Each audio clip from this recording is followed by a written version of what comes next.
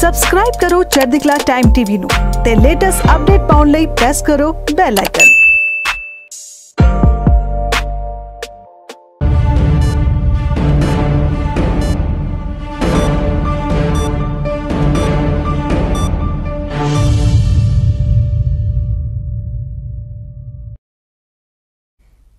ਸਤਿ ਸ਼੍ਰੀ ਅਕਾਲ, ਸਵਾਗਤ ਹੈ ਤੁਹਾਡਾ ਪੰਜਾਬੀ ਖਬਰਾਂ ਦੇ ਇਸ ਬੁਲਟਨ 'ਚ। ਮੈਂ ਤੁਹਾਡੇ ਨਾਲ ਰੋਮਨ ਬਾਜਵਾ। ਬੁਲਟਨ ਦਾ ਆਗਾਜ਼ ਕਰਾਂਗੇ, ਪਰ ਸਭ ਤੋਂ ਪਹਿਲਾਂ ਇੱਕ ਨਜ਼ਰ ਮਾਰ ਲੈਣੇ ਹੁਣ ਤੱਕ ਦੀਆਂ ਖਾਸ ਖਬਰਾਂ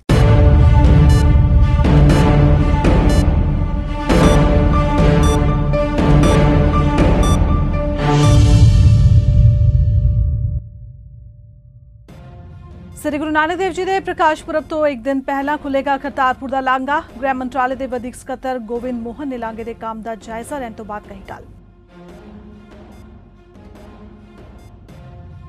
ਪਾਕਿਸਤਾਨ ਦੀਆਂ ਨਾਪਾਕ ਹਰਕਤਾਂ ਜਾਰੀ, ਕੰਟਰੋਲ ਲਾਈਨ ਤੇ ਸੀਜ਼ਫਾਇਰ ਦੀ ਉਲੰਘਣਾ ਕੀਤੀ, ਭਾਰਤੀ ਚੌਕੀਆਂ ਤੇ ਦਾਗੇ ਮੋਟਰਾਂ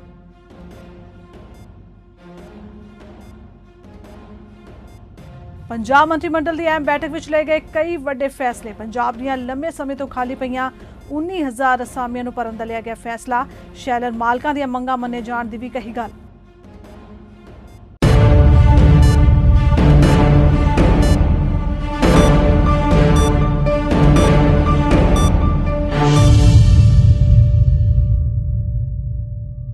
ਤੇ ਹੁਣ ਖਬਰਾਂ ਵਿਸਥਾਰ ਨਾਲ, ਭਾਰਤੀ ਗ੍ਰਹਿ ਮੰਤਰਾਲੇ ਦੀ ਇੱਕ ਟੀਮ ਵੱਲੋਂ ਅੱਜ ਡੇਰਾ ਬਾਬਾ ਨਾਨਕ ਵਿਖੇ ਪਾਕਿਸਤਾਨ ਸਥਿਤ ਗੁਰਦੁਆਰਾ ਸ੍ਰੀ ਕਰਤਾਰਪੁਰ ਸਾਹਿਬ ਤੱਕ ਬਣਾਏ ਜਾ ਰਹੇ ਲਾਂਘੇ ਦਾ ਨਿਰੀਖਣ ਕੀਤਾ ਗਿਆ।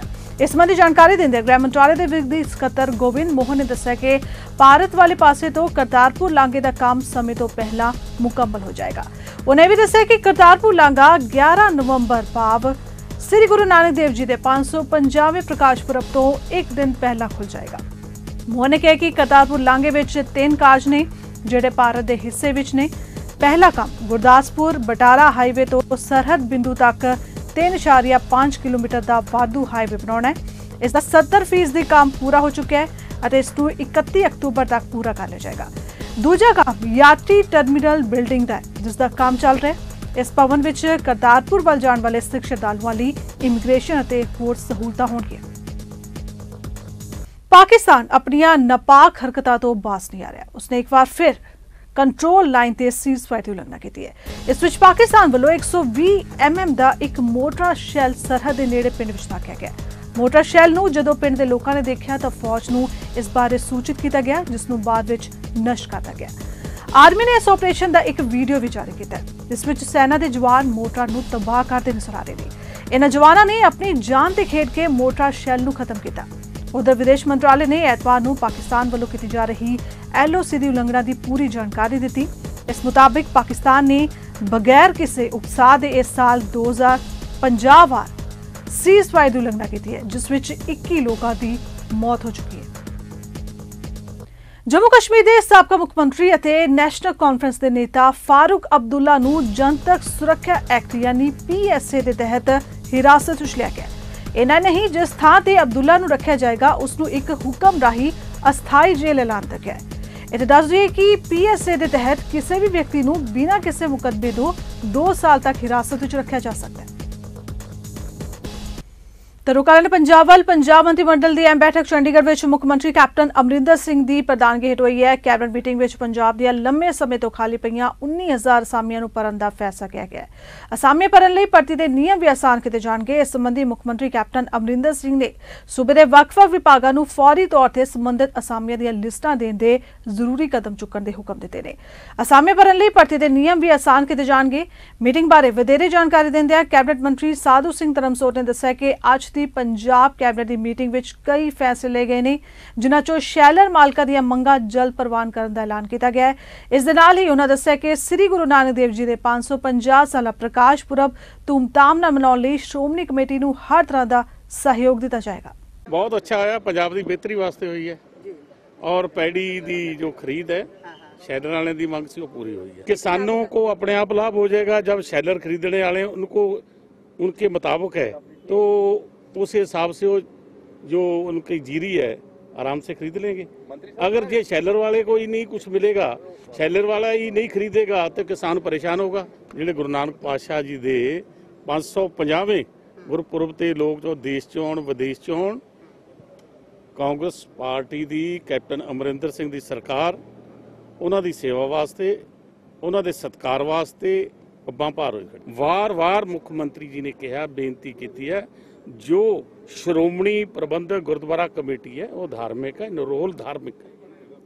ਉਹ ਆਪਣੇ ਆਪ 'ਚ ਜੋ ਗੁਰਦੁਆਰੇ ਦੇ ਵਿੱਚ ਜੋ ਪ੍ਰਬੰਧ ਨੇ, ਉਹਨਾਂ ਦੇ ਮੁਤਾਬਕ ਨੇ, ਉਹਨਾਂ ਨੂੰ ਕਰਨਾ ਸਤਿਕਾਰਯੋਗ ਨੇ। ਅਗਰ ਸਰਕਾਰ ਤੋਂ ਕੋਈ ਸੇਵਾ ਚਾਹੀਦੀ ਹੈ ਸਿਕਿਉਰਿਟੀ ਚਾਹੀਦੀ ਹੈ, ਕੋਈ ਹੋਰ ਮਦਦ ਚਾਹੀਦੀ ਹੈ, ਸਰਕਾਰ ਦੇਣ ਲਈ ਤਿਆਰ ਹੈ।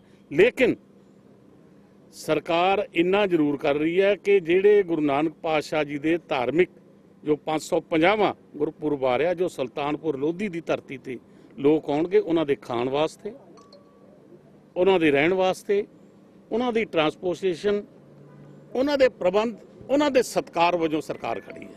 ਬੇਸ਼ੱਕ ਪੰਜਾਬ ਦੇ ਮੁੱਖ ਮੰਤਰੀ ਕੈਪਟਨ ਅਮਰਿੰਦਰ ਸਿੰਘ ਨੇ ਕਾਂਗਰਸ ਦੀ ਸੋਨੀਆ ਗਾਂਧੀ ਕੋਲ ਦਾਅਵਾ ਕੀਤਾ ਕਿ ਉਹਨਾਂ ਦੀ ਸਰਕਾਰ ਵੱਲੋਂ ਕੀਤੇ ਗਏ 161 ਵਾਅਦਿਆਂ ਵਿੱਚੋਂ 140 ਪਹਿਲਾਂ ਹੀ ਪੂਰੇ ਕਰ ਦਿੱਤੇ ਗਏ ਨੇ। ਪਰ ਸ਼੍ਰੋਮਣੀ ਅਕਾਲੀ ਦਲ ਬਾਦਲ ਨੇ ਉਹਨਾਂ ਨੂੰ ਇਸ ਮਸਲੇ ਤੇ ਘੇਰਿਆ ਹੈ। ਚੰਡੀਗੜ੍ਹ ਵਿੱਚ ਅਕਾਲੀ ਦਲ ਬਾਦਲ ਦੇ ਆਗੂਆਂ ਨੇ ਪ੍ਰੈਸ ਕਾਨਫਰੰਸ ਕੀਤੀ, ਜਿਸ ਦੌਰਾਨ ਉਹਨਾਂ ਕਿਹਾ ਕਿ ਕੈਪਟਨ ਅਮਰਿੰਦਰ ਸਿੰਘ ਦੀ ਸਰਕਾਰ ਵੱਲੋਂ ਜਾਰੀ ਕੀਤੇ ਇਸ਼ਤਿਹਾਰ ਵਿੱਚ ਉਹਨਾਂ 21 ਵਾਅਦੇ ਪੂਰੇ ਕਰਨ ਦਾ ਜ਼ਿਕਰ ਕੀਤਾ ਹੈ, ਜਦਕਿ ਦਿੱਲੀ ਵਿੱਚ ਉਹ 140 ਵਾਅਦੇ ਮੁਕੰਮਲ ਕਰਨ ਦੀ ਗੱਲ ਆਖ ਰਹੇ ਨੇ, ਜੋ ਕਿ ਲੋਕਾਂ ਨੂੰ ਗੁੰਮਰਾਹ ਕਰਨ ਵਾਲੀ ਗੱਲ ਹੈ ਪਹਿਲਾਂ ਤਾਂ ਥੋੜੇ ਦਿਨ ਪਹਿਲਾਂ ਕੈਪਟਨ ਅਮਰਿੰਦਰ ਸਿੰਘ ਜੀ ਆਪਣੀ ਰਿਪੋਰਟ ਦੇਣ ਵਾਸਤੇ ਸੋਨੀਆ ਗਾਂਧੀ ਜੀ ਕੋਲ ਗਏ ਸੀ ਦਿੱਲੀ ਔਰ ਉੱਥੇ ਸਾਨੂੰ ਖੁਸ਼ੀ ਹੋਈ ਸੀ ਕਿ ਜਿਹੜੀ ਰਿਪੋਰਟ ਦੇ ਕੇ ਆਏ ਸੀ, ਉਹਦੇ 'ਚ ਦੱਸ ਕੇ ਆਏ ਸੀ ਕਿ 161 ਵਾਅਦੇ ਪੰਜਾਬ ਦੀ ਜਨਤਾ ਦੇ ਨਾਲ ਕੀਤੇ ਸੀ ਤੇ 141 ਅਸੀਂ ਪੂਰੇ ਕਰ ਦਿੱਤੇ। ਹੁਣ ਇੱਕ ਦਿਨ ਦੇ ਬਾਅਦ ਪੰਜਾਬ ਸਰਕਾਰ ਨੇ ਇਸ਼ਤਿਹਾਰ ਦਿੱਤਾ, ਜਿਹੜਾ ਅੱਜ ਪੂਰੇ ਸਫੇ ਦਾ ਇਸ਼ਤਿਹਾਰ ਸਾਰੀਆਂ ਅਖਬਾਰਾਂ ਦੇ ਵਿੱਚ ਛਪਿਆ। ਇੱਕ ਤਾਂ ਕੱਲਾ ਪੰਜਾਬ ਦੀ ਜਨਤਾ ਨੂੰ ਗੁੰਮਰਾਹ ਨਹੀਂ ਕੀਤਾ, ਸੋਨੀਆ ਗਾਂਧੀ ਨੂੰ ਵੀ ਗੁੰਮਰਾਹ ਕੀਤਾ।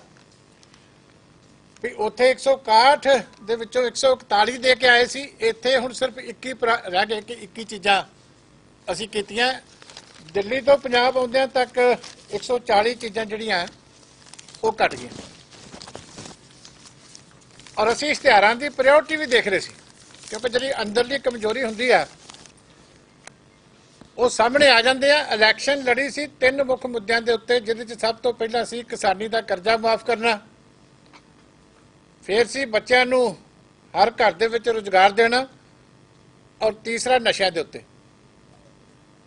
ਹੁਣ ਇਸ ਇਸ਼ਤਿਹਾਰ ਦੇ ਵਿੱਚ ਜਿਹੜੀ ਹੈ, ਸਭ ਤੋਂ ਜਿਹੜਾ ਇੰਪੋਰਟੈਂਟ ਸੂਬੇ ਦਾ ਮਸਲਾ ਸੀ, ਉਹ 12ਵੇਂ ਨੰਬਰ ਤੇ ਚਲਾ ਗਿਆ। ਪੰਜਾਬ ਦੇ ਕੈਬਨਿਟ ਮੰਤਰੀ ਸੁਖਜਿੰਦਰ ਸਿੰਘ ਰੰਧਾਵਾ ਨੇ ਡੇਰਾ ਬਾਬਾ ਨਾਨਕ ਵਿੱਚ ਬਾਬਾ ਲਖਮੀ ਦਾਸ ਦੇ ਨਾਮ ਤੇ ਬਣਨ ਵਾਲੇ ਚੌਂਕ ਦਾ ਨੀਂਹ ਪੱਥਰ ਰੱਖਿਆ ਹੈ। ਇਸ ਮੌਕੇ ਨਾਲ ਕਿਹਾ ਕਿ ਇਸ ਤੇ ਤਕਰੀਬਨ 20 ਲੱਖ ਰੁਪਏ ਦੀ ਲਾਗਤ ਆਏਗੀ। ਰੰਧਾਵਾ ਨੇ ਕਿਹਾ ਕਿ ਪੰਜਾਬ ਸਰਕਾਰ 550 ਸਾਲਾ ਪ੍ਰਕਾਸ਼ ਪੁਰਬ ਦੇ ਮੱਦੇਨਜ਼ਰ ਡੇਰਾ ਬਾਬਾ ਨਾਨਕ ਦਾ ਵਿਕਾਸ ਪਹਿਲ ਦੇ ਆਧਾਰ ਤੇ ਕਰੇਗੀ। 19 ਨੂੰ ਸਾਡੀ ਕੈਬਨਿਟ ਮੀਟਿੰਗ ਆ ਰਹੀ ਹੈ। ਉਹਦੇ ਤੇ ਜਿਹੜੇ ਵੀ ਕੰਮ ਇੱਥੇ ਸਟਾਰਟ ਹੋਏ ਨੇ ਉਹਨਾਂ ਨੂੰ ਦੇਖਣਾ ਔਰ ਜਿਹੜੀ ਲਾਂਘੇ ਦੇ ਉੱਤੇ ਜਿਹੜੇ ਜਿਹੜੇ ਕੰਮ ਹੋ ਰਹੇ ਨੇ, ਉਹਨਾਂ ਦਾ ਸਾਰਿਆਂ ਦੀ ਮੌਕੇ ਤੇ ਆਣ ਕੇ ਉਹਨਾਂ ਨੇ ਵਿਜ਼ਿਟ ਕਰਨੇ ਔਰ ਪੂਰੀ ਦੀ ਪੂਰੀ ਕੈਬਨਿਟ ਨਾਲ ਆਏਗੀ ਤੇ ਸਾਰੇ ਡਿਵੈਲਪਮੈਂਟ ਵਰਕਸ ਜਿਹੜੇ ਨੇ, ਉਹਨਾਂ ਨੂੰ ਵੇਖਿਆ ਜਾਏਗਾ ਤੇ ਨਾਲ ਹੀ ਟਾਈਮ ਬਾਉਂਡ ਕੀਤੇ ਜਾਣਗੇ ਤਾਂ ਕਿ 5 ਨਵੰਬਰ ਤੋਂ ਪਹਿਲਾਂ ਪਹਿਲਾਂ ਸਾਰੇ ਕੰਮ ਜਿਹੜੇ ਮੁਕੰਮਲ ਕਰ ਦਿੱਤੇ ਜਾਣ। ਜਿਹੜੀ ਦਰਸ਼ਨ ਸਥਲ ਜਿਹੜਾ ਸੀ, ਉਹਨੂੰ ਦੁਬਾਰਾ ਜਿਹੜਾ ਲੈਂਡ ਪੋਰਟ ਅਥਾਰਟੀ ਵਾਲੇ ਨੇ, ਉਹਨੂੰ ਉਹਨੂੰ ਵੀ ਉਹ ਦੁਬਾਰਾ ਜਿਹੜਾ ਕਰ ਰਹੇ ਨੇ ਤਾਂ ਕਿ ਜਿਹੜੇ ਲੋਕ ਪਾਸਪੋਰਟ ਜਿਨ੍ਹਾਂ ਕੋਲ ਨਹੀਂ ਜਾਂ ਜਿਹੜੇ ਨਹੀਂ ਜਾ ਸਕਦੇ ਤੇ ਉੱਥੇ ਖੜੇ ਹੋ ਕੇ ਇਹ ਵੀ ਸੋਚ ਰਹੇ ਕਿ ਉਸ ਸਥਲ ਨੂੰ ਡਬਲ ਸਟੋਰੀ ਬਣਾਇਆ ਜਾਏ, ਤਾਂ ਕਿ ਉੱਪਰ ਖੜੇ ਹੋ ਕੇ ਵੀ ਤੇ ਥੱਲੇ ਵੀ ਲੋਕ ਜਿਹੜੀ ਸੰਗਤ ਜ਼ਿਆਦਾ ਹੋਏਗੀ, ਉਹ ਸਾਰੇ ਉਹਨਾਂ ਨੂੰ ਦੇਖ ਕੇ ਦਰਸ਼ਨ ਕਰ ਸਕਣ। ਉਧਰ ਕੈਬਨਿਟ ਮੰਤਰੀ ਸੁਖਜਿੰਦਰ ਸਿੰਘ ਰੰਧਾਵਾ ਨੇ ਪਾਕਿਸਤਾਨ ਵੱਲੋਂ ਕਰਤਾਰਪੁਰ ਲਾਂਘੇ ਲਈ ਸਰਵਿਸ ਫੀਸ ਦੇ ਰੂਪ ਵਿੱਚ ਪ੍ਰਤੀ ਵਿਅਕਤੀ 1400 ਰੁਪਏ ਯਾਨੀ 20 ਅਮਰੀਕੀ ਡਾਲਰ ਫੀਸ ਲੈਣ ਦੇ ਮਸਲੇ ਦੀ ਨੁਕਤਾਚੀਨੀ ਕਰਨ ਤੋਂ ਇਨਕਾਰ ਕੀਤਾ ਹੈ। ਉਹਨੇ ਕਿਹਾ ਕਿ ਸਿੱਖਾਂ ਲਈ 20 ਡਾਲਰ ਦੀ ਫੀਸ ਮਾਇਨੇ ਨਹੀਂ ਰੱਖਦੀ ਕਿਉਂਕਿ ਗੁਰੂ ਸਾਹਿਬ ਦੇ ਗੁਰਧਾਮ ਦੇ ਦਰਸ਼ਨ ਇਸ ਤੋਂ ਕਿਤੇ ਵੱਧ ਹੈ? ਹੁਣ ਮੈਂ ਫੀਸ ਦੇ ਉੱਤੇ ਮੈਂ ਕੋਈ ਕਿੰਤੂ ਪਰੰਤੂ ਨਹੀਂ ਕਰਨਾ ਚਾਹੁੰਦਾ। ਸਾਨੂੰ ਸਭ ਤੋਂ ਵੱਡੀ ਚੀਜ਼ ਇਹ ਹੈ ਕਿ ਗੁਰੂ ਸਾਹਿਬ ਦੇ ਦਰਸ਼ਨ ਹੋਣੇ ਚਾਹੀਦੇ ਨੇ। ਤੇ ਜੇ ਅਸੀਂ ਇਹਨਾਂ ਛੋਟੀਆਂ ਛੋਟੀਆਂ ਗੱਲਾਂ ਦੇ ਉੱਤੇ ਕਿੰਤੂ ਪਰੰਤੂ ਕਰਕੇ ਤੇ ਅਸੀਂ ਆਪਣੇ ਆਪ ਨੂੰ ਗੁਰੂ ਦੇ ਦਰਸ਼ਨਾਂ ਲਈ ਨਹੀਂ। ਇਹਦਾ ਮਤਲਬ ਕਿ ਅਸੀਂ ਗੁਰੂ ਦੇ ਦਰਸ਼ਨਾਂ ਨੂੰ ਸਿਰਫ ਆਪਣੀਆਂ ਫੀਸਾਂ ਤੱਕ ਹੀ ਸੀਮਤ ਰੱਖਣਾ ਚਾਹੁੰਦੇ ਹਾਂ। ਗੁਰੂ ਲਈ ਤੇ ਸਾਡੀ ਜਾਨ ਵੀ ਜੇ ਕੁਰਬਾਨ ਹੁੰਦੀ ਹੈ ਤੇ ਅਸੀਂ ਆਪਣੀ ਜਾਨ ਕੁਰਬਾਨ ਕਰਨ ਲਈ ਵੀ ਤਿਆਰ ਰਹਿਣਾ ਚਾਹੀਦਾ। ਇਹ ਫੀਸਾਂ ਸਾਡੇ ਲਈ ਬਹੁਤ ਛੋਟੀਆਂ ਚੀਜ਼ਾਂ ਨੇ। ਸਾਡੇ ਲਈ ਸਭ ਤੋਂ ਵੱਡੀ ਗੁਰੂ ਨਾਨਕ ਸਾਹਿਬ ਨੇ ਬਖਸ਼ਿਸ਼ ਇਹ ਕੀਤੀ ਹੈ ਕਿ ਉਹਨਾਂ ਨੇ ਜਿਹੜੇ ਆਪਣੇ ਦਰਸ਼ਨ ਸਾਨੂੰ ਕਰਨ ਦਾ ਜਿਹੜਾ ਮੌਕਾ ਬਖਸ਼ਿਆ, ਸਾਨੂੰ ਉਹਦਾ ਧੰਨਵਾਦ ਕਰਨਾ ਚਾਹੀਦਾ।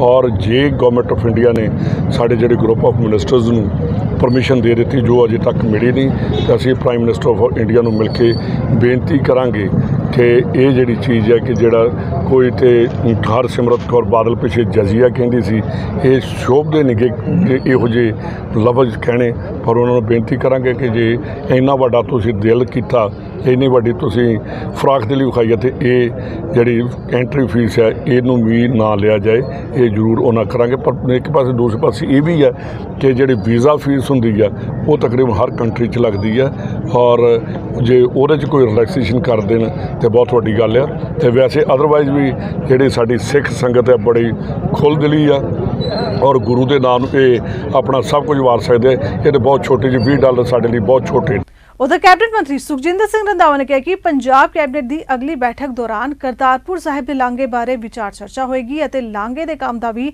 ਨਿਰੀਖਣ ਕੀਤਾ ਜਾਏਗਾ। ਰੰਧਾਵਾ ਨੇ ਕਿਹਾ ਕਿ ਕਰਤਾਰਪੁਰ ਸਾਹਿਬ ਦੇ ਦਰਸ਼ਨੀ ਅਸਥਾਨ ਦਾ ਮੁੜ ਨਿਰਮਾਣ ਕੀਤਾ ਜਾਏਗਾ ਤਾਂ ਜੋ ਕਿਸੇ ਕਾਰਨ ਕਰਤਾਰਪੁਰ ਸਾਹਿਬ ਨਾ ਜਾ ਸਕਣ ਵਾਲੇ ਲੋਕ ਇੱਥੋਂ ਦੂਰਬੀਨ ਨਾਲ ਗੁਰਦੁਆਰਾ ਸਾਹਿਬ ਦੇ ਦਰਸ਼ਨ ਦਿਦਾਰੇ ਕਰਨ।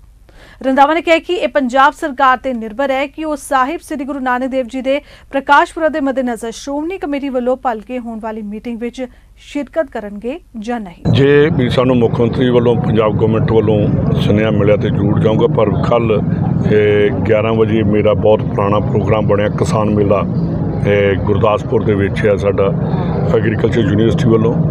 11 ਵਜੇ ਤੇ ਉਹ ਆ, ਇਹਨਾਂ ਦੀ ਮੀਟਿੰਗ ਆਈ ਹੈ ਤੇ ਉਹਨਾਂ ਨੂੰ ਰਿਕੁਐਸਟ ਕਰਾਂਗੇ ਜੇ ਮੁੱਖ ਮੰਤਰੀ ਸਾਹਿਬ ਨੇ ਕਿਹਾ ਕਿ ਜਾਣਾ ਤੇ ਉਹਨਾਂ ਨੂੰ ਕਹਾਂਗੇ ਕਿ ਆਫਟਰ ਆਫਟਰਨੂਨ ਜਿਹੜਾ ਉਹ ਮੀਟਿੰਗ ਕਰ ਲਈ ਜਾਏ ਕਿਉਂਕਿ ਪਹਿਲਾਂ ਸਾਰੇ ਗੁਰਦਾਸਪੁਰ ਜ਼ਿਲ੍ਹੇ ਦੇ ਤੇ ਐਗਰੀਕਲਚਰ ਦੇ ਵੱਖ-ਵੱਖ ਥਾਵਾਂ ਤੋਂ ਜਿਹੜੇ ਕਿਸਾਨ ਹੋਣੇ ਉਹਨਾਂ ਦੇ ਨਾਲ ਇਹ ਸਾਡਾ ਮੀਟਿੰਗ ਹੋਈ रुकाले ने कुछ और अहम खबर वाल आंध्र प्रदेश के सबका विधान सभा स्पीकर कोडेला ਰਾਵ ਨੇ राव ਵਿੱਚ ਆਪਣੇ ਘਰ ਵਿੱਚ ਖੁਦਕੁਸ਼ੀ ਕਰ ਲਈ ਹੈ। ਉਹਨਾਂ ਦੀ ਲਾਸ਼ ਘਰ ਵਿੱਚ ਲਟਕਦੀ ਹੋਈ ਮਿਲੀ ਹੈ। 72 ਸਾਲ ਦੇ ਰਾਵ ਸੂਬੇ ਵਿੱਚ ਵਿਰੋਧੀ ਤੇਲਗੂ ਦੇਸ਼ਮ ਪਾਰਟੀ ਦੇ ਸਭ ਤੋਂ ਸੀਨੀਅਰ ਨੇਤਾਵਾਂ ਵਿੱਚੋਂ ਇੱਕ ਮੰਨੇ ਜਾਂਦੇ ਸਨ। ਰਾਵ ਵਿਧਾਨ ਸਭਾ ਦੀ ਸੰਪਤੀ ਚੋਰੀ ਨੂੰ ਲੈ ਕੇ ਵਿਵਾਦਾਂ ਵਿੱਚ ਘੇਰੇ ਵੀ ਸਨ। ਸਥਾਨਕ ਪੁਲਿਸ ਮੁਤਾਬਿਕ ਰਾਵ ਨੂੰ ਬਸਤਵਾਤਮ ਹਸਪਤਾਲ ਲਿਜਾਇਆ ਗਿਆ, ਜਿੱਥੇ ਡਾਕਟਰਾਂ ਨੇ ਉਹਨਾਂ ਨੂੰ ਮ੍ਰਿਤਕ ਐਲਾਨ ਦਿੱਤਾ। ਉਸ ਦੇ ਪਰਿਵਾਰ 'ਚ ਪਤਨੀ ਸ਼ਸ਼ੀ ਕਲਾ ਧੀ ਡਾਕਟਰ ਵਿਜੇ ਲక్ష్ਮੀ ਅਤੇ ਦੋ ਬੇਟੇ ਡਾਕਟਰ ਸ਼ਿਵ ਰਾਮ ਕ੍ਰਿਸ਼ਨ ਅਤੇ ਡਾਕਟਰ ਸਤਿਆ ਨਾਰਾਇਣ ਨੇ। ਤੇਲੰਗਾਨਾ ਦੇ ਮੁੱਖ ਮੰਤਰੀ ਚੰਦਰਸ਼ੇਖਰ ਰਾਵ ਨੇ ਸਾਬਕਾ ਸਪੀਕਰ ਦੀ ਮੌਤ ਤੇ ਦੁੱਖ ਜ਼ਾਹਿਰ ਕੀਤਾ ਹੈ। ਆਂਧਰਾ ਪ੍ਰਦੇਸ਼ ਦੀ ਬਣ ਤੋਂ ਬਾਅਦ ਰਾਵ 2014 ਵਿੱਚ ਸਪੀਕਰ ਬਣੇ ਸਨ। ਉਹ 6 ਵਾਰ ਵਿਧਾਇਕ ਰਹਿ ਚੁੱਕੇ ਨੇ। ਰਾਵ ਨੇ 5 ਵਾਰ ਨਰਸਰਾਵਪੇਟ ਤੋਂ ਅਤੇ 2014 ਵਿੱਚ ਸਤੇਨਾਪਲੀ ਤੋਂ ਜਿੱਤ ਦਰਜ ਕੀਤੀ ਸੀ।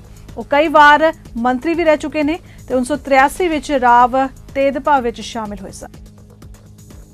ਵਿਧਾਇਕ ਸਿਮਰਜੀਤ ਸਿੰਘ ਬੈਂਸ ਖਿਲਾਫ ਦਰਜ ਮਾਮਲੇ ਵਿੱਚ ਜ਼ਿਲ੍ਹਾ ਸੈਸ਼ਨ ਅਦਾਲਤ ਵੱਲੋਂ ਬੈਂਸ ਦੀ ਜ਼ਮਾਨਤ ਪਟੀਸ਼ਨ ਨੂੰ ਖਾਰਜ ਕਰ ਦਿੱਤਾ ਗਿਆ ਹੈ। ਤੇ ਦੱਸ ਦਈਏ ਕਿ ਜ਼ਿਲ੍ਹਾ ਗੁਰਦਾਸਪੁਰ ਦੇ ਡਿਪਟੀ ਕਮਿਸ਼ਨਰ ਵਿਪੁਲ ਉਜਵਲ ਨਾਲ ਆਤਮਨਗਰ ਦੇ ਵਿਧਾਇਕ ਸਿਮਰਜੀਤ ਸਿੰਘ ਬੈਂਸ ਵੱਲੋਂ ਕੀਤੀ ਗਈ ਕਥਿਤ ਬਸਲੂਕੀ ਤੋਂ ਬਾਅਦ ਪੁਲਿਸ ਵੱਲੋਂ ਦਰਜ ਕੀਤੇ ਗਏ ਮਾਮਲੇ ਵਿੱਚ ਵਿਧਾਇਕ ਸਿਮਰਜੀਤ ਸਿੰਘ ਬੈਂਸ ਵੱਲੋਂ ਲਾਈ ਗਈ ਅਰਜ਼ੀ ਤੇ ਅੱਜ ਜ਼ਿਲ੍ਹਾ ਅਤੇ ਸੈਸ਼ਨ ਜੱਜ ਦੀ ਅਦਾਲਤ ਵਿੱਚ ਸੁਣਵਾਈ ਹੋਈ ਹੈ, ਜਿਸ ਤੇ ਬੈਂਸ ਦੀ ਜ਼ਮਾਨਤ ਪਟੀਸ਼ਨ ਨੂੰ ਖਾਰਜ ਕਰ ਦਿੱਤਾ ਗਿਆ ਬਟਾਲਾ ਵਿੱਚ ਪਟਾਕੇ ਦੀ ਫੈਕਟਰੀ ਵਿੱਚ ਹੋਏ ਧਮਾਕੇ ਤੋਂ ਬਾਅਦ ਇੱਕ ਪਰਿਵਾਰ ਨੂੰ ਮ੍ਰਿਤਕ ਦੀ ਲਾਸ਼ ਨਾ ਮਿਲਣ ਕਾਰਨ ਵਿਧਾਇਕ ਬੈਂਸ ਨੇ ਡੀਸੀ ਤੋਂ ਸਵਾਲ ਜਵਾਬ ਕੀਤੇ ਸਨ। ਇਸ ਦੌਰਾਨ ਸਿਮਰਜੀਤ ਸਿੰਘ ਬੈਂਸ ਨੇ ਡਿਪਟੀ ਕਮਿਸ਼ਨਰ ਗੁਰਦਾਸਪੁਰ ਵਿਪੁਲ ਉਜਵਲ ਦੇ ਨਾਲ ਬਸਲੂਕੀ ਕੀਤੀ, ਜਿਸ ਦੀ ਵੀਡੀਓ ਵੀ ਕਾਫੀ ਵਾਇਰਲ ਹੋਈ ਸੀ। ਸਭ ਨੇ, ਬੈਂਸ ਸਾਹਿਬ ਦੀ ਬੇਲ ਜਿਹੜੀ ਆਰਡਰ ਤੇ ਰੱਖੀ ਹੋਈ ਸੀ। ਹੁਣ ਜਿਹੜਾ ਉਹ ਆਰਡਰ ਜਿਹੜਾ ਡਿਸਮਿਸ ਕਰ ਦਿੱਤੀ ਗਈ ਹੈ। ਹੁਣ ਨੈਕਸਟ ਇਹ ਆਪਾਂ ਹਾਈ ਕੋਰਟ ਅਪਰੋਚ ਕਰਾਂਗੇ। ਹਾਈ ਕੋਰਟ ਜਿਹੜੀ ਆ ਉਹ, ਜਿਹੜੀ ਐਂਟੀਸਪੇਟਰੀ ਬੇਲ ਜਿਹੜੀ ਉਹ ਲਈ ਜਾਏਗੀ। ਬੈਂਸ ਸਾਹਿਬ ਦੀ ਬੇਲ ਜਿਹੜੀ ਉਹ ਡੀਸੀ ਨਾਲ ਜਿਹੜੀ ਵਾਰਤਾਲਾਪ ਹੋਈ ਹੈ ਜੀ, ਉਹਦੇ ਚ ਜਿਹੜਾ ਉਹਨਾਂ ਤੇ ਸੈਕਸ਼ਨ ਲਾਏ ਗਏ ਸੀ, ਧਾਰਾਵਾਂ ਲਾਈਆਂ ਗਈਆਂ ਸੀ 353 505 ਜਾਂ 506 ਉਹਨਾਂ ਦੇ ਥੱਲੇ ਆਪਾਂ ਬੇਲ ਲਾਈ ਹੋਈ ਸੀ। ਉਸ ਜਿਹੜੀਆਂ ਧਾਰਾਵਾਂ ਦੇ ਥੱਲੇ ਜਿਹੜਾ ਉਹ ਬੇਲ ਡਿਸਮਿਸ ਕਰ ਦਿੱਤੀ ਗਈ ਹੈ ਐਂਟੀਸਪੇਟਰੀ ਬੇਲ ਡਿਸਮਿਸ ਕੀਤੀ ਗਈ ਹੈ।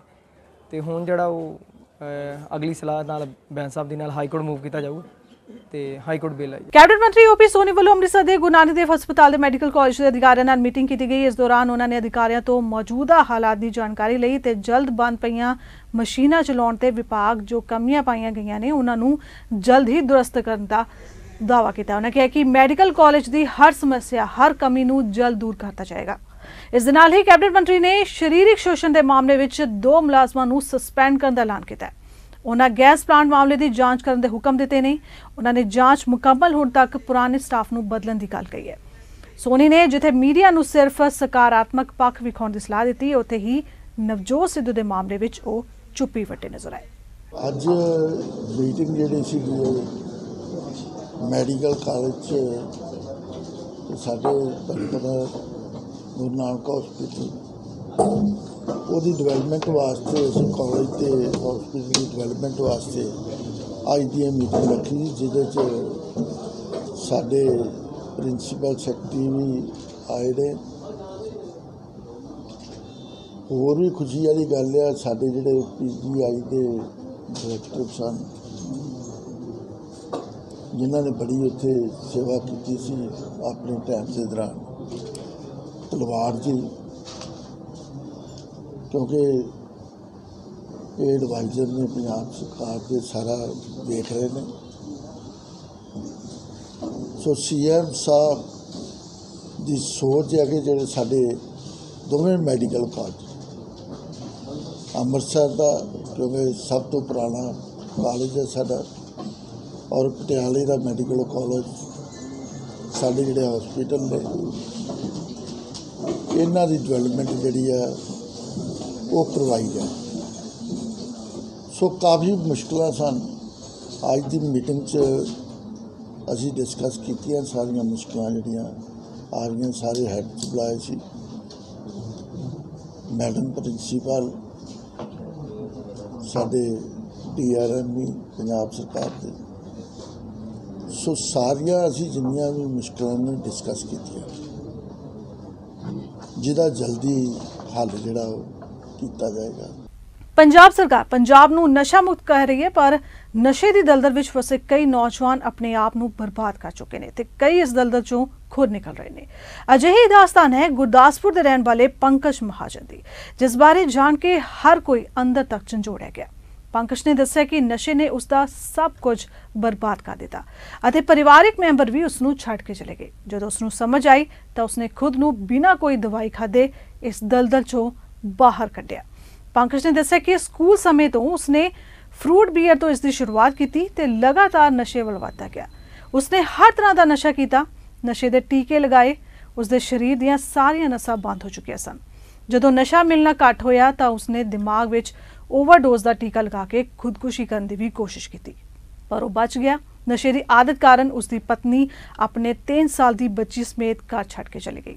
ਹੁਣ ਉਸਨੇ ਨੌਜਵਾਨਾਂ ਨੂੰ ਅਪੀਲ ਕੀਤੀ ਹੈ ਕਿ ਉਹ ਨਸ਼ੇ ਤੋਂ ਦੂਰ ਹੀ ਰਹਿਣ। ਮੇਰੀ ਯਾਰ, ਨਸ਼ੇ ਦੀ ਸ਼ੁਰੂਆਤ ਸਕੂਲ ਟਾਈਮ ਤੋਂ ਹੀ ਹੋ ਚੁੱਕੀ ਸੀ ਕਿਉਂਕਿ ਇੱਕ ਕਰੇਜ ਹੁੰਦਾ, ਫਰੂਟ ਵੇਅਰ ਤੋਂ ਚਾਲੂ ਹੋਇਆ ਸੀ। ਹੌਲੀ ਹੌਲੀ ਸ਼ਰਾਬ, ਬੀਅਰ, ਕਾਲਜ ਤੱਕ ਪੁੱਜਦੇ ਪੁੱਜਦੇ ਮੈਂ ਇੱਕ ਤਗੜਾ ਸ਼ਰਾਬੀ ਹੋ ਗਿਆ ਸੀ। ਜਦੋਂ ਬੋਤਲ ਖੁੱਲਦੀ, ਜਿੰਨੀ ਦੇਰ ਤੱਕ ਬੋਤਲ ਖਤਮ ਨਾ ਹੋਏ, ਮੈਨੂੰ ਮਜ਼ਾ ਨਹੀਂ ਆਉਂਦਾ। ਔਰ ਇਹ ਚੀਜ਼ ਨੇ ਹੌਲੀ ਹੌਲੀ ਸਾਡੇ ਘਰ ਦੇ ਵਿੱਚ ਪ੍ਰੋਬਲਮ ਆਣੀ ਚਾਲੂ ਹੋ ਗਈਆਂ ਕਿ ਘਰ ਦੇ ਕਹਿੰਦੇ ਮੁੰਡਾ ਸ਼ਰਾਬ ਪੀ ਕੇ ਆ ਰਿਹਾ, ਸਮੈਲ ਆਉਣੀ। ਮੈਂ ਦੂਜੇ ਨਸ਼ੇ ਦੇ ਸਹਾਰੇ ਵੱਲ ਚੱਲ ਗਿਆ ਕਿ ਮੈਨੂੰ ਮਜ਼ਾ ਆਉਣ ਲੱਗ ਪਿਆ ਸੀ ਨਾ ਨਸ਼ਾ ਕਰਨ ਦਾ। ਔਰ ਮੈਂ ਦੂਜੀ ਚੀਜ਼ਾਂ ਦੇ ਵੱਲ ਸਹਾਰਾ ਲੈਣਾ ਚਾਲੂ ਕਰਤਾ ਕਿ ਭੰਗ ਪੀਣੀ ਚਾਲੂ ਕਰਤੀ। ਮੈਂ ਮੈਡੀਕਲ ਨਸ਼ੇ ਲੈਣੇ ਚੱਲ ਪ- ਸ਼ੁਰੂ ਕਰਤੇ, ਸ਼ੀਸ਼ੀ ਪੀਣੀ ਚਾਲੂ ਕਰਤੀ। ਇੱਕ ਦਿਨ ਇਦਾਂ ਹੀ ਵੀਰ ਭਰਾ ਬੈਠੇ ਦੇ ਸੀ, ਜਿਹੜੇ ਆਪਾਂ ਨਸ਼ਾ ਕਰਨ ਵਾਲੇ ਸੀ, ਔਰ ਇੱਕ ਦਿਨ ਉਹ ਚਿੱਟਾ ਆਇਆ ਨਵਾਂ ਨਵਾਂ 2000 ਤੇ 9 ਦੀ ਗੱਲ ਹੈ। ਔਰ ਮੈਂ ਕਿਹਾ, ਕੀਤਾ ਔਰ ਮੈਨੂੰ ਬੜਾ ਮਜ਼ਾ ਆਇਆ ਉਹ ਕਰਕੇ। ਉਸ ਮਜ਼ੇ ਤੋਂ ਹੀ ਸ਼ੁਰੂ ਹੋ ਕੇ ਮੈਂ ਉਹਦੀ ਦਲਦਲ ਦੇ ਵਿੱਚ, ਮੈਨੂੰ ਪਹਿਲੇ ਬੜਾ ਮਜ਼ਾ ਆਉਂਦਾ, ਬਾਅਦ ਚ ਮੇਰੀ ਸਜ਼ਾ ਬਣ ਗਈ ਐਂਡ ਚ ਮੇਰੀ ਮਜਬੂਰੀ ਬਣ ਗਈ। ਔਰ ਮੈਂ ਹੌਲੀ ਹੌਲੀ ਜਦੋਂ ਤੱਕ ਪੈਸੇ ਹੈਗੇ ਸੀ, ਮੈਂ ਨਜ਼ਾਰੇ ਲੈਂਦਾ ਗਿਆ ਜਦੋਂ ਪੈਸੇ ਖਤਮ ਹੋ ਗਏ ਫਿਰ ਮੈਂ ਇੰਜੈਕਸ਼ਨ ਦੀ ਯੂਜ਼ਿੰਗ ਵਿੱਚ ਆ ਗਿਆ ਕਿਉਂਕਿ ਥੋੜਾ ਜਿੰਨੇ ਕ ਪੈਸੇ ਇਕੱਠੇ ਹੋਣੇ ਆ ਔਰ ਮੈਂ ਇੰਜੈਕਸ਼ਨ ਕਰਨ ਲੱਗ ਪਿਆ ਇੰਜੈਕਸ਼ਨ ਯੂਜ਼ ਕਰਨ ਲੱਗ ਪਿਆ ਹੀਰੋਇਨ ਦੇ। ਔਰ ਮੈਂ ਹਾਰ ਕੇ ਨਾ ਸੁਸਾਈਡ ਕਰਨਾ ਚਾਹਿਆ ਔਰ ਮੇਰਾ ਦਿਮਾਗ ਕਹਿੰਦਾ ਹੈ ਕਿ ਮਰਨਾ ਤੇ ਨਸ਼ਾ ਕਰਕੇ ਮਰਨਾ। ਔਰ ਮੈਂ ਐਂਡਲਾ ਜਿਹੜਾ ਇੰਜੈਕਸ਼ਨ ਇਹਨਾਂ ਆਪਣੀ ਦਿਮਾਗ ਦੀ ਨਾੜੀ ਤੇ ਲਾਇਆ ਕਿ ਜੇ ਮੈਂ ਮਰਾਂ ਤੇ ਨਸ਼ਾ ਕਰਕੇ ਹੀ ਮਰਾਂ। ਔਰ ਮੈਂ ਲਗਾਇਆ ਇੰਜੈਕਸ਼ਨ ਨਾਲ ਹੀ ਮੈਂ ਬੇਹੋਸ਼ ਹੋ ਗਿਆ। ਪਰ ਮੈਨੂੰ ਲੱਗਿਆ ਮੈਂ ਬਸ ਦੁਨੀਆ ਤੇ ਜਦੋਂ ਮੈਨੂੰ ਓਨਾ ਹੀ ਹੋਸ਼ ਆ ਕਿ ਮੈਂ ਲਾਇਆ ਚਾਰਾਂ ਘੰਟਿਆਂ ਬਾਅਦ ਮੇਰੀ ਫੇਰ ਅੱਖ ਖੁੱਲ ਗਈ ਔਰ 14 7 2017 ਤਰੀਕ ਸੀ, ਜਿਸ ਦਿਨ ਮੈਂ ਲਾਸਟ ਔਰ ਮੇਰਾ ਪਹਿਲਾ ਦਿਨ ਹੀ ਨਸ਼ੇ ਤੋਂ ਦੂਰ ਦਾ। ਉਸ ਤੋਂ ਬਾਅਦ ਮੈਂ ਇੱਕ ਸੁਸਾਇਟੀ ਬਣਾਈ ਔਰ ਅੱਜ ਦਾ ਦਿਨ ਮੈਂ ਨਸ਼ੇ ਤੋਂ ਦੂਰ ਹਾਂ ਔਰ ਜ਼ਿੰਦਗੀ ਜੀ ਰਿਹਾ। ਤੇ ਖਬਰ ਮੋਗਾ ਤੋਂ ਹੈ। ਜ਼ਿਲ੍ਹਾ ਮੋਗਾ ਦੇ ਕਸਬਾ ਬਾਗਾ ਪੁਰਾਣਾ ਦੇ ਅਧੀਨ ਪੈਂਦੇ ਪਿੰਡ ਮਲਕੇ ਵਿੱਚ 4 ਨਵੰਬਰ 2015 ਨੂੰ ਸ੍ਰੀ ਗੁਰੂ ਗ੍ਰੰਥ ਸਾਹਿਬ ਜੀ ਦੀ ਬੇਅਦਬੀ ਦਾ ਮਾਮਲਾ ਸਾਹਮਣੇ ਆਇਆ ਸੀ। ਇਸ ਮਾਮਲੇ ਵਿੱਚ ਥਾਣਾ ਸਮਾਲਸਾ ਦੀ ਪੁਲਿਸ ਨੇ ਪੰਜ ਡੇਰਾ ਪ੍ਰੇਮੀਆਂ ਤੇ ਮਾਮਲਾ ਦਰਜ ਕੀਤਾ ਸੀ।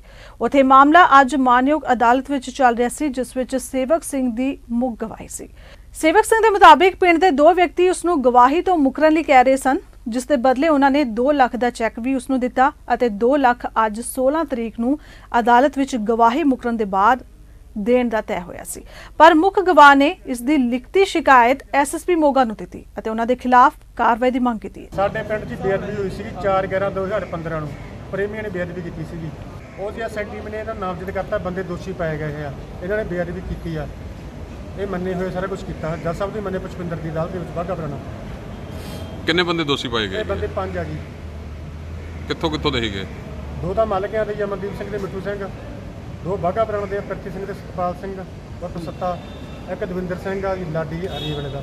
ਕੱਲ ਕੀ ਹੋਇਆ ਤੁਹਾਨੂੰ? ਜਦੋਂ ਚੈੱਕ ਮਿਲਿਆ ਕਿਹਨੇ ਦਿੱਤਾ ਹੈ ਕੱਲ ਦਿੱਤਾ ਸੀ ਗਰਮੇਲ ਸਿੰਘ ਨੇ ਤੇ ਇੱਕ ਅਮਨਦੀਪ ਦਾ ਫਾਦਰ ਆ ਸੁਖਮੰਦਰ ਸਿੰਘ। ਕਾਦੀ ਬਾਬਤ ਦਿੱਤਾ ਹੈ ਤੁਹਾਨੂੰ ਇਹ ਚੈੱਕ ਦਿੱਤਾ ਸੀ ਕਹਿੰਦੇ ਤੂੰ ਗਵਾਹੀ ਮੁਕਰ ਜਾ ਤੇ ਸਾਡੀ ਇੱਜ਼ਤ ਦਾ ਸਵਾਲ ਆ ਪਿੰਡ ਦੀ ਇੱਜ਼ਤ ਦਾ ਸਵਾਲ ਆ ਤੇ ਅਸੀਂ ਬਚ ਜਾਾਂਗੇ ਤੇ ਨਹੀਂ ਤਾਂ ਮਤਲਬ ਪਿੰਡ 'ਚ ਤੂੰ ਦੁਸ਼ਮਣੀ ਨਾ ਪਾ, ਤੇ ਤੂੰ ਕੱਲਾ ਹੈਗਾ। ਤੇ ਕਹਿੰਦੇ ਤੂੰ ਗਵਾਹੀ ਮੁਕਰ ਜਾਏਗਾ 2 ਲੱਖ ਰੁਪਏ ਤੈਨੂੰ ਅਸੀਂ ਕਚਹਿਰੀ ਗਵਾਹੀ ਮੁਕਰ ਤੋਂ ਬਾਅਦ ਦੇਵਾਂਗੇ। ਹੁਣ ਜੀ ਆਪਣਾ ਸਾਡੀ ਅਗਲੀ ਤਰੀਕ ਹੈਗੀ ਆ 23 ਤਰੀਕ। ਅੱਜ ਅਸੀਂ ਅਸੀਂ ਵੀ ਸਾਹਮਣੇ ਦਿਖਾ ਦੇਣ ਵਾਸਤੇ ਆਏ ਹੋਏ ਆ। ਵੀ ਉਹਨਾਂ ਬੰਦਿਆਂ ਤੇ ਸਖਤ ਤੋਂ ਸਖਤ ਕਾਰਵਾਈ ਕੀਤੀ ਉਹਦੀਆਂ ਧਮਕੀਆਂ ਦਿੱਤੀਆਂ ਸੀਗੀਆਂ ਤੇ ਮੈਨੂੰ ਲਾਲਚ ਦਿੱਤਾ ਹੋਇਆ। ਤੇ ਉਹਨਾਂ ਨੇ ਪਰਚਾ ਦਿੱਤਾ ਜਾਵੇ, ਮੇਰੀ ਜਾਨ ਨੂੰ ਖਤਰਾ ਹੈਗਾ। ਉਹਨਾਂ ਨੂੰ ਅੰਡਰਸਟ ਕੀਤਾ ਜਾਵੇ। ਤੇ ਉਹਨਾਂ ਦੀਆਂ ਜ਼ਮਾਨਤਾਂ ਰ- ਰੱਦ ਕੀਤੀਆਂ ਜਾਣ। ਉਸ ਤੋਂ ਬਾਅਦ ਇਹ ਆਏ ਹੈ ਨੇ, ਮੇਰੇ ਕੋਲ ਇੱਕ ਕੰਪਲੇਂਟ ਦੇ ਕੇ ਗਏ ਨੇ, ਜਿਹਦੇ ਵਿੱਚ ਐਲੀਗੇਸ਼ਨ ਲਾਉਂਦੇ ਆ ਕਿ ਉਹਨਾਂ ਨੂੰ 2 ਲੱਖ ਰੁਪਈਆ ਕਿਸੇ ਗੁਰਮੇਲ ਸਿੰਘ ਨਾਂ ਦੇ ਬੰਦੇ ਨੇ ਐਜ਼ ਅ ਰਿਸ਼ਵਤ ਆਫਰ ਕੀਤਾ ਵੀ ਅਗਵਾਈ ਤੋਂ ਮੁਕਰਨ ਵਾਸਤੇ। ਸੋ ਉਹਦੀ ਐਪਲੀਕੇਸ਼ਨ ਦੇ ਕੇ ਗਏ ਨੇ ਐਪਲੀਕੇਸ਼ਨ ਜਿਹੜੀ ਐਸਪੀ ਹੈਡਕੁਆਟਰ ਸਾਡੇ ਹੈ ਨੇ। ਮਿਸਟਰ ਰਤਨ ਸਿੰਘ ਉਹਨਾਂ ਨੂੰ ਮਾਰ ਕੀਤੀ ਗਈ ਹੈ। ਉਹ ਉਹਦੇ 'ਚ ਇਨਕੁਆਰੀ ਕਰਨਗੇ ਐਲੀਗੇਸ਼ਨ ਸਹੀ ਹੋਏ ਤੇ ਜ਼ਰੂਰ ਜੋ ਬਣਦੀ ਕਾਰਵਾਈ ਕੀਤੀ ਜਾਏਗੀ ਨਿਰੰਕਾਰੀਆਂ ਦੀ ਕੁੱਟਮਾਰ ਦਾ ਸ਼ਿਕਾਰ ਹੋਏ ਗ੍ਰੰਥੀ ਸੰਦੀਪ ਸਿੰਘ ਦਾ ਇਲਾਜ ਬਠਿੰਡਾ ਦੇ ਨਿੱਜੀ ਹਸਪਤਾਲ ਵਿੱਚ ਕਰਾਇਆ ਜਾ ਰਿਹਾ ਹੈ। ਇਲਾਜ ਕਰਵਾ ਰਹੇ ਗ੍ਰੰਥੀ ਦਾ ਹਾਲ-ਚਾਲ ਪੁੱਛਣ ਲਈ ਅੱਜ ਜਥੇਦਾਰ ਬਲਜੀਤ ਸਿੰਘ ਦਾਦੂਵਾਲ ਵਿਸ਼ੇਸ਼ ਤੌਰ ਤੇ ਹਸਪਤਾਲ ਪਹੁੰਚੇ, ਜਿੱਥੇ ਉਹਨਾਂ ਨੇ ਪੀੜਤ ਗ੍ਰੰਥੀ ਨਾਲ ਗੱਲਬਾਤ ਕਰਦੇ ਹੋਏ ਉਸਦੇ ਪਰਿਵਾਰ ਨਾਲ ਮੁਲਾਕਾਤ ਕੀਤੀ। ਇਸ ਮੌਕੇ ਪੱਤਰਕਾਰਾਂ ਨਾਲ ਗੱਲਬਾਤ ਕਰਦਿਆਂ ਬਲਜੀਤ ਸਿੰਘ ਦਾਦੂਵਾਲ ਨੇ ਕਿਹਾ ਕਿ ਕੁਝ ਦਿਨ ਪਹਿਲਾਂ ਗੁਰੂ ਘਰ ਦੀ ਸੇਵਾ ਕਰਨ ਜਾ ਰਹੇ ਇੱਕ ਗ੍ਰੰਥੀ ਦੀ ਨਿਰੰਕਾਰੀਆਂ ਵੱਲੋਂ ਘੇਰ ਕੇ ਬੜੀ ਬੇਰਹਿਮੀ ਨਾਲ ਕੁੱਟਮਾਰ ਕੀਤੀ ਗਈ ਸੀ। ਜ਼ਖਮੀ ਹੋਣ ਕਾਰਨ ਉਸ ਗ੍ਰੰਥੀ ਦਾ ਇਲਾਜ ਹਸਪਤਾਲ ਵਿੱਚ ਕੀਤਾ ਜਾ ਰਿਹਾ ਹੈ। ਦਾਦੂਵਾਲ ਨੇ ਪੁਲਿਸ ਪ੍ਰਸ਼ਾਸਨ ਨੂੰ ਅਪੀਲ ਕੀਤੀ ਹੈ ਕਿ ਇਸ ਮਾਮਲੇ ਦੇ ਦੋਸ਼ੀਆਂ ਨੂੰ ਜਲਦ ਤੋਂ ਜਲਦ ਗ੍ਰਿਫਤਾਰ ਕਰਕੇ ਉਹਨਾਂ ਖਿਲਾਫ ਬਣਦੀ ਕਾਰਵਾਈ ਕੀਤੀ ਜਾਏ। ਇਸ ਤੋਂ ਇਲਾਵਾ ਡੇਰੇ ਦੀਆਂ ਜੋ ਵੀ ਗਤੀਵਿਧੀਆਂ ਨੇ ਉਹਨਾਂ ਤੇ ਰੋਕ ਲਗਾਈ ਜਾਏ। ਨਰਕਧਾਰੀਆਂ ਦੇ ਵੱਲੋਂ ਪਹਿਲਾਂ ਵੀ ਕੋਟ ਸ਼ਮੀਰ ਦਾ ਇੱਕ ਗਰੀਬ ਗੁਰਸਿੱਖ ਬੱਕਰੀਆਂ ਚਾਰਨ ਵਾਲਾ ਭਾਈ ਸੀਤਾ ਸਿੰਘ, ਉਹਨੂੰ ਘੇਰ ਕੇ ਕੁੱਟਿਆ ਗਿਆ। ਜੇ ਉਹਦੀ ਹਮਾਇਤ ਤੇ ਗੁਰਦੀਪ ਸਿੰਘ ਨਾਂ ਦਾ ਇੱਕ ਨੌਜਵਾਨ ਹੋਇਆ ਕਿ ਕਿਉਂ ਇਸ ਨਾਲ ਧੱਕਾ ਕੀਤਾ, ਤਾਂ ਉਹਨੂੰ ਵੀ ਕੁੱਟਿਆ ਗਿਆ। ਉਹਦੇ ਮੱਥੇ ਦੇ ਉੱਤੇ ਸੱਤ ਟੈਂਕੇ ਲੱਗੇ ਹੋਏ ਆ, ਉਹ 7 ਦਿਨ ਹਸਪੀਟਲ 'ਚ ਰਿਹਾ। ਉੱਤੇ ਕੋਈ ਵੀ ਪੁਲਿਸ ਪ੍ਰਸ਼ਾਸਨ ਨੇ ਜਿਹੜਾ ਧਿਆਨ ਨਹੀਂ ਦਿੱਤਾ, ਕੋਈ ਕਾਨੂੰਨੀ ਕਾਰਵਾਈ ਦੋਸ਼ੀਆਂ ਤੇ ਨਹੀਂ ਕੀਤੀ। ਇਸ ਗੱਲ ਵਾਸਤੇ ਪਿੰਡ ਦਾ ਜਿਹੜਾ ਇਕੱਠ ਸੀ, ਗੁਰਦੁਆਰਾ ਸਾਹਿਬ 'ਚ ਰੱਖਿਆ ਗਿਆ ਤੇ ਗ੍ਰੰਥੀ ਸਿੰਘ ਨੇ ਅਨਾਉਂਸਮੈਂਟ ਕੀਤੀ ਇਸੇ ਰੰਜਸ ਦੇ ਵਿੱਚ ਨਰ- ਨਰਕਧਾਰੀਆਂ ਨੇ ਗੁਰਦੁਆਰੇ ਦੇ ਗ੍ਰੰਥੀ ਭਾਈ ਸੰਦੀਪ ਸਿੰਘ ਨੂੰ ਅੰਮ੍ਰਿਤ ਵੇਲੇ ਨਿਤਨੇਮ ਕਰਨ ਜਾਂਦੇ ਨੂੰ ਘੇਰ ਕੇ ਕੁੱਟਿਆ। ਇਸ ਵੇਲੇ ਉਹ ਹਸਪੀਟਲ ਦੇ ਵਿੱਚ ਜੇਰੇ ਇਲਾਜ ਆ। ਉਹਦਾ ਇਲਾਜ ਚੱਲ ਰਿਹਾ। ਅੱਜ ਸਾਰਾ ਨਗਰ ਕੋਟ ਸ਼ਮੀਰ ਵੀ ਉੱਥੇ ਇਕੱਠਾ ਹੋਇਆ। ਪੁਲਿਸ ਪ੍ਰਸ਼ਾਸਨ ਨੂੰ ਚਾਹੀਦਾ ਦੋਸ਼ੀਆਂ ਨੂੰ ਤੁਰੰਤ ਗ੍ਰਿਫਤਾਰ ਕੀਤਾ ਜਾਵੇ। ਡੇਰੇ ਦੀਆਂ ਜਿਹੜੀਆਂ ਗਤੀਵਿਧੀਆਂ ਇਹਨਾਂ ਨੂੰ ਰੋਕਿਆ ਜਾਵੇ। ਪੰਜਾਬ ਸਰਕਾਰ ਨੂੰ ਬਠਿੰਡਾ ਪੁਲਿਸ ਪ੍ਰਸ਼ਾਸਨ ਨੂੰ ਚਾਹੀਦਾ ਕਿ ਤੁਰੰਤ ਉਸ ਡੇਰੇ ਦੇ ਉੱਤੇ ਪਾਬੰਦੀ ਲਾਉਣ ਤੇ ਜਿਹੜੇ ਦੋਸ਼ੀ ਨੇ ਉਹਨਾਂ ਤੇ ਤੁਰੰਤ ਸਖਤ ਧਾਰਾਵਾਂ ਲਾ ਕੇ ਉਹਨਾਂ ਨੂੰ ਜਿਹੜਾ ਗ੍ਰਿਫਤਾਰ ਕੀਤਾ ਜਾਵੇ, ਨਹੀਂ ਤਾਂ ਫਿਰ ਸਿੱਖ ਸੰਗਤਾਂ, ਸਿੱਖ ਪੰਥ ਇਹਦਾ ਫੈਸਲਾ ਜਿਹੜਾ ਉਹ ਆਪ ਕਰੂਗਾ। ਫਿਰ ਜਿਹੜੇ ਹਾਲਾਤ ਵਿਗੜਨਗੇ ਉਹਦੇ ਲਈ ਪੰਜਾਬ ਸਰਕਾਰ, ਪੰਜਾਬ ਪੁਲਿਸ ਪ੍ਰਸ਼ਾਸਨ ਖੁਦ ਜ਼ਿੰਮੇਵਾਰ ਸਰਕਾਰ ਬੇਸ਼ੱਕ ਕਿਸੇ ਦੀ ਵੀ ਹੋਵੇ, ਪਰ ਕਿਸਾਨਾਂ ਦੀਆਂ ਖੁਦਕੁਸ਼ੀਆਂ ਰੁਕਣ ਦਾ ਨਾਂ ਨਹੀਂ ਲੈ ਰਹੀਆਂ ਨੇ। ਉਹਨਾਂ ਦੀ ਮੁਸ਼ਕਲਾਂ ਵੀ ਜਿਉਂ ਦੀਆਂ ਤਿਉਂ ਬਰਕਰਾਰ ਨੇ। ਜਲੰਧਰ ਵਿੱਚ ਦੁਆਬਾ ਕਿਸਾਨ ਯੂਨੀਅਨ ਦੇ ਆਗੂਆਂ ਨੇ ਆਪਣੀਆਂ ਮੰਗਾਂ ਨੂੰ ਲੈ ਕੇ ਜਲੰਧਰ ਦੇ ਡਿਪਟੀ ਕਮਿਸ਼ਨਰ ਦੇ ਦਫ਼ਤਰ ਵਿੱਚ ਸਹਾਇਕ ਕਮਿਸ਼ਨਰ ਜਨਰਲ ਨੂੰ ਮੰਗ ਪੱਤਰ ਦਿੱਤਾ। ਜਿਸ ਰਾਹੀਂ ਉਹਨਾਂ ਮੰਗ ਕੀਤੀ ਕਿ ਪੰਜਾਬ ਸਰਕਾਰ ਕਿਸਾਨਾਂ ਦਾ ਸਮੁੱਚਾ ਕਾਰਜ ਮਾਫ ਕਰੇ ਅਤੇ ਗੰਨਾ ਕਾਸ਼ਕਾਰਾਂ ਨੂੰ ਉਹਨਾਂ ਦੀ ਬਕਾਇਆ ਰਕਮ ਦਾ ਭੁਗਤਾਨ ਕੀਤਾ ਜਾਏ। ਕਿਸਾਨਾਂ ਨੇ ਚੇਤਾਵਨੀ ਦਿੱਤੀ ਹੈ ਕਿ ਜੇਕਰ 15 ਦਿਨਾਂ ਵਿੱਚ ਉਹਨਾਂ ਦੀਆਂ ਮੰਗਾਂ ਤੇ ਗੌਰ ਨਾ ਕੀਤਾ ਗਿਆ ਤਾਂ ਉਹ ਰੋਸ ਪ੍ਰਦਰਸ਼ਨ ਕਰਨਗੇ। ਅਜਨਾਲਾ ਵਿੱਚ ਕਿਸਾਨਾਂ ਨੇ ਵਿਸ਼ਵ ਕਰ ਮੁਕਤ ਵਪਾਰ ਸਮਝੌਤੇ ਦੀ ਵਿਰੋਧਤਾ ਕੀਤੀ ਤੇ ਕੇਂਦਰ ਸਰਕਾਰ ਖਿਲਾਫ ਰੋਸ ਪ੍ਰਦਰਸ਼ਨ ਕੀਤਾ। ਕਿਸਾਨਾਂ ਨੇ ਇਸ ਮੌਕੇ ਪੀਐਮ ਮੋਦੀ ਦਾ ਪੁਤਲਾ ਵੀ ਫੂਕਿਆ। ਕਿਸਾਨ ਆਗੂਆਂ ਨੇ ਕਿਹਾ ਕਿ ਜੇਕਰ 16 ਦੇਸ਼ਾਂ ਦਰਮਿਆਨ ਸਮਝੌਤਾ ਲਾਗੂ ਹੋ ਜਾਂਦਾ ਹੈ ਤਾਂ ਪੰਜਾਬ ਦੀ ਕਿਸਾਨੀ ਤਬਾਹ ਹੋ ਜਾਏਗੀ। ਕਿਸਾਨਾਂ ਨੇ ਕਿਹਾ ਕਿ ਮੋਦੀ ਸਰਕਾਰ ਨੂੰ ਆਪਣਾ ਫੈਸਲਾ ਰੱਦ ਕਰਨਾ ਚਾਹੀਦਾ